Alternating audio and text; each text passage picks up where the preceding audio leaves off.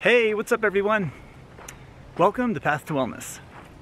My name is Chris and today's video is going to be plant-based lifestyle with intermittent fasting and how I get in around 17 or so servings of raw fruits and veggies every day in my diet as long as I'm not fasting the whole day. So this is just a typical day of what I eat and since I did some juicing, I'm starting out off with a green juice. Still incorporating that as the first thing I eat.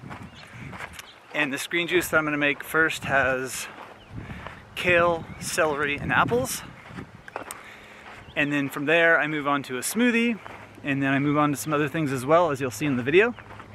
So if you're interested in seeing more about plant-based lifestyle, intermittent fasting, some good workouts, go ahead and subscribe to the channel and make sure you click the bell so you're notified of my videos. And thanks for doing that. And here's how it goes. So I started off at 11:30 a.m. with this green juice. I used celery, apples, and kale, and I made about a liter of green juice. And I did a workout at 9 a.m. that morning. I swam a whole bunch of laps at the swimming pool.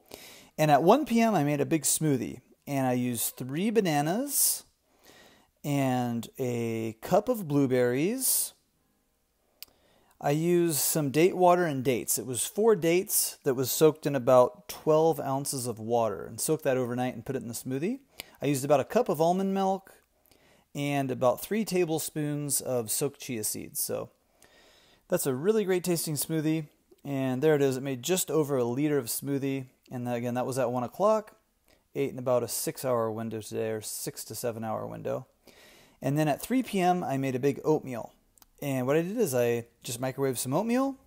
I added in some raisins, some walnuts, an apple that I sliced up, a Fuji apple, and a banana sliced up, and some cinnamon, and then a splash of almond milk just to get it wet. Mixed all that up, and this was at 3 o'clock. And there was my oatmeal bowl. That's one of my favorite oatmeal recipes.